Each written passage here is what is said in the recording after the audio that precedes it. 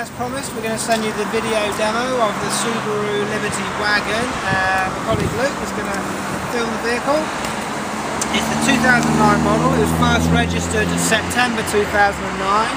So the factory warranty will run through to September 2012. Just taking you uh, around the vehicle. See the engine here, boxer engine, very nicely detailed, as you'd expect, all in good order. That comes with a symmetrical four-wheel drive on the Subaru. Just want to get uh, the paint and panels here. It really is in excellent condition.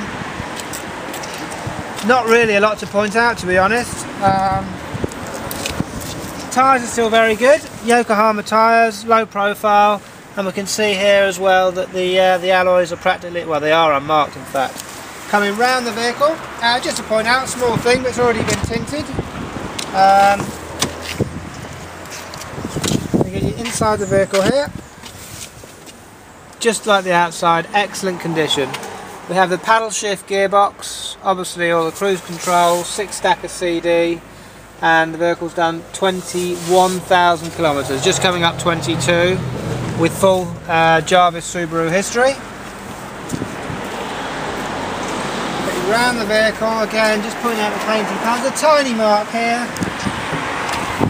No, slight scratch here. Very, very small. Which we could get out there. Other than that, not really a lot to say. Let's take around to the boot.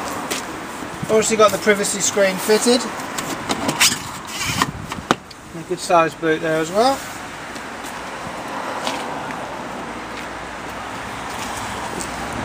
Just an excellent example finish off around the vehicle.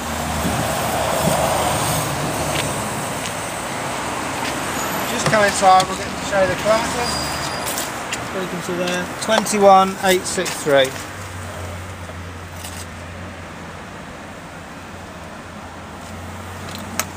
Okay, I hope that gives you a good idea of uh, what the Subaru is like. We're going to get this off to you as a link and uh, we'll give you a call shortly to uh, to discuss it further. Thank you.